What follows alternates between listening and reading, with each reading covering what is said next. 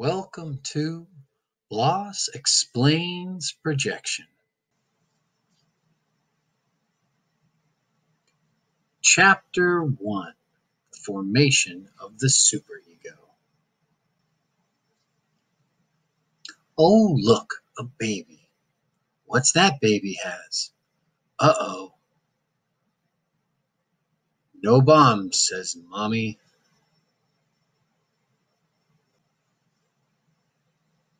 Oh, look, another baby. What's that baby has? Uh oh, an assault rifle. No guns, says Mommy. Baby is very upset, and he does not like hearing no all the time. So Baby does what all of us do and repurposes some of his consciousness into voices or creatures to help him avoid being told no. He just tells himself, and often these voices sound just like mommy or daddy. It's not just no's baby's trying to avoid.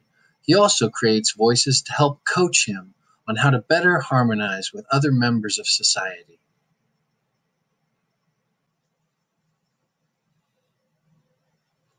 And baby's parents stimulate this learning by offering baby praise when he achieves a good deed.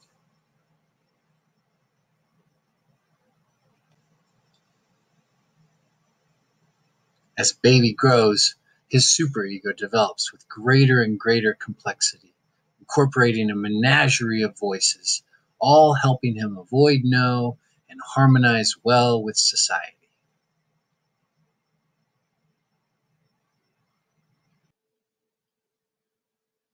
And baby's superego follows him into adulthood, residing in his subconscious.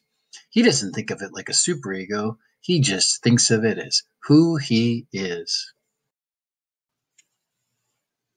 And his superego interacts with the world, strangely and often with the same tone with which it interacts with him. This is our first example of projection.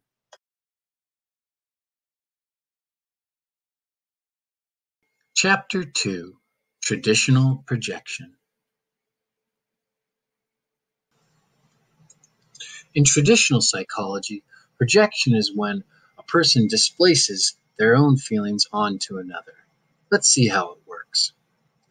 So, Brad's feeling angry in his underneath mind, but his superego won't let him feel it, probably because somewhere along the way, Brad was made to think that anger was bad. So what does he do? He displaces it onto Helen. Because the definition of projection is about the displacement of emotion, it's technically possible to say to someone that they're angry, be right, and not have any anger going on inside of ourselves. This would be called sensing. Both functions are still using the keen eyes of the superego. And so, right or wrong, both are using the same mechanism. And they're probably projecting. Chapter 3 Conscious Projection. Now that Brad knows that he's often and probably projecting, he can begin an inquiry anytime he wants to tell someone how he thinks they're feeling. He can look for little cues. Does he have urgency to tell Helen that she's angry, as if she'd be in danger for being angry? This is a sign that Brad might feel like he's in danger when he's angry. And this can start deeper and deeper inquiries and promote Brad's own self intimacy with his superego. Often, when people begin updating their superego, they combat the intensity of the voices they're already hearing with louder voices. These updates are necessary as they develop their ability to work with their superego. One drawback to this way is that the increasing intensities seem to spiral. When beginning to work with these voices, we often assume that because it's our mind or our consciousness, that we have the right or power to dominate them, and this often fails to promote positive change. For whatever reason, assuming that the mind can listen back to us either creates or reveals its inherent relationality. Four attitudes or affirmations that can facilitate this dialogue are I don't know who you are. I don't know what you need. I want to know. And I'm sure you make sense. Chapter 4 Introjection and Conscious Introjection. Introjection is the unconscious adoption of the ideas or attitudes of others, much like our baby in Chapter 1. But it also can happen when someone projects on us. We hear their belief and just assume it's true.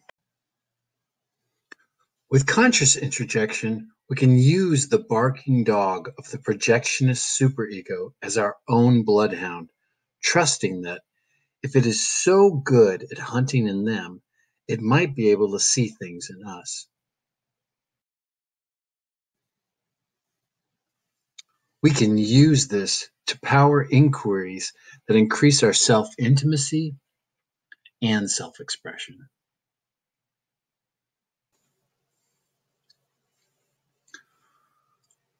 One thing that can be tricky about borrowing the eyes of someone else's superego is that though they may be an expert at detecting a feeling, their tone may convey that they have negative attitudes about that feeling.